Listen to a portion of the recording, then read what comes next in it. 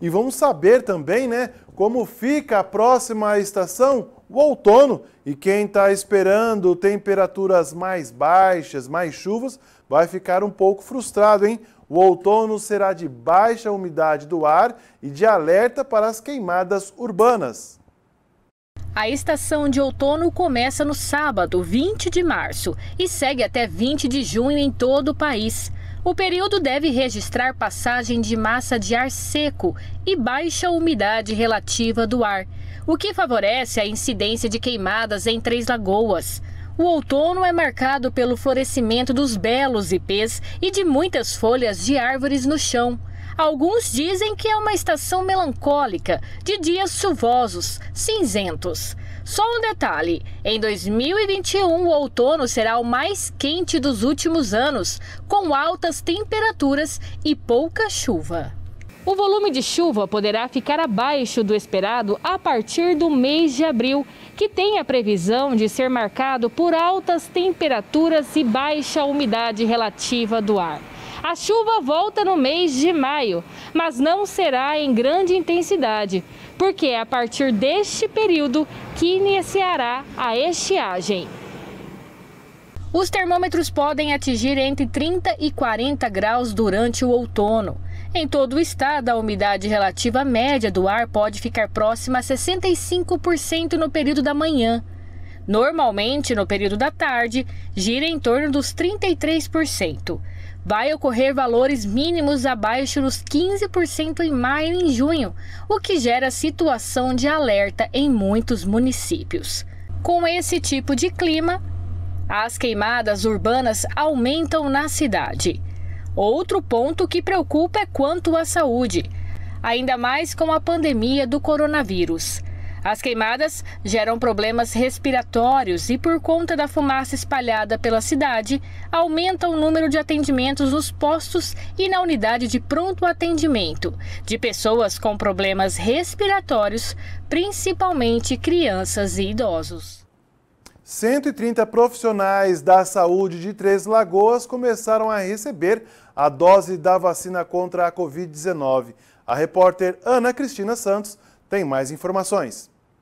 Pois é, isso mesmo está acontecendo aqui no Corpo de Bombeiros de Três Lagoas, a vacinação para os profissionais da saúde os profissionais que pertencem ao grupo de risco para a Covid-19. Para a gente falar sobre essa vacinação, vou conversar agora com a Alberta Zambuja. Alberta, o porquê que vocês escolheram esse espaço e como que está sendo essa campanha? Nós temos uma quantidade para fornecer para os profissionais da saúde que ainda não tinham sido atendidos, que são profissionais a partir de 40 anos de idade acima, né? Nós temos um total de 130 doses para disponibilizar para essa clientela e foi um lugar que a gente achou que é bastante amplo, espaçoso, arejado, né? Para a gente conseguir atender esses profissionais numa escala de cada meia hora, sem aglomeração, para a gente conseguir atender com tranquilidade. A vacinação está seguindo bastante tranquila, os profissionais que estão vindo são os que tinham enviado o e-mail lá para a imunização. Então foi feito um agendamento prévio, né? Nós estamos com uma lista desses profissionais. Então, assim, não está tendo tumulto, tudo muito segue muito tranquilo. E qual é a dose que eles vão receber a primeira e qual é a vacina? Eles estão recebendo ainda a primeira dose, eles não tinham conseguido ser imunizados por enquanto, e a gente está disponibilizando aqui neste momento a Coronavac.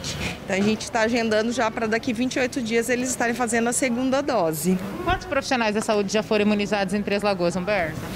Em torno de 3 mil pessoas nós já conseguimos imunizar, mas os da iniciativa privada ainda não estavam conseguindo. Né? Com, essa, com essa remessa de hoje, nós vamos dar um salto aí de mais 130 profissionais da saúde em Três Lagoas. E de um modo geral, quantas pessoas já foram vacinadas contra a Covid em Três Lagoas? Se a gente considerar dose 1 e dose 2, em torno de 8 mil doses já disponibilizamos, é, compreendendo os grupos de profissional e idoso.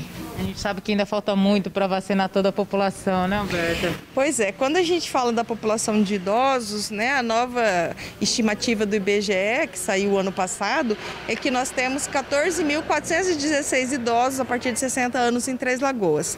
Idosos nós já vacinamos em torno de 2.500 pessoas, dose 1, né? Então temos ainda 12 mil idosos para poder atender aqui no município. Tem previsão para a chegada de mais doses da vacina? Toda semana a gente recebe recebe. Acreditamos que amanhã, na quarta-feira, o município deve estar recebendo mais um lote que ainda não sabemos nem a quantidade e nem de qual laboratório virá.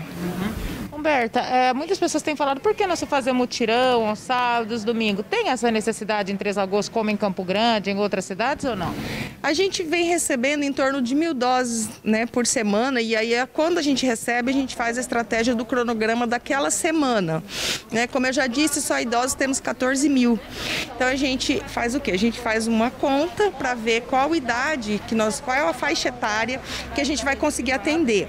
A gente dispara isso para as unidades básicas, já faz o chamamento, o agendamento deste idoso e quando chega na sexta-feira já não tem mais doses para disponibilizar. Então acaba que não tem necessidade de fazer no fim de semana, porque a gente absorve essas doses durante a semana na nossa clientela de idosos e trabalhadores que estão sendo atendidos pela central de imunização. A expectativa fica para ver se os municípios e estados conseguem comprar vacina, né, Humberto?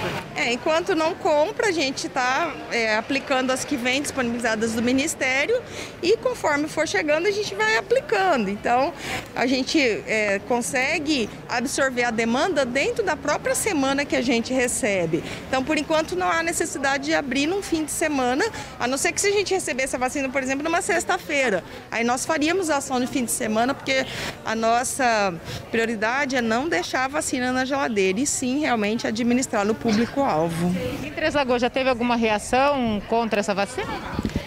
Algumas pessoas que tomaram apresentaram reação, mas foi autolimitada. No dia seguinte estavam se sentindo bem, que foi principalmente febre, dor no corpo e alguns casos que tiveram também diarreia.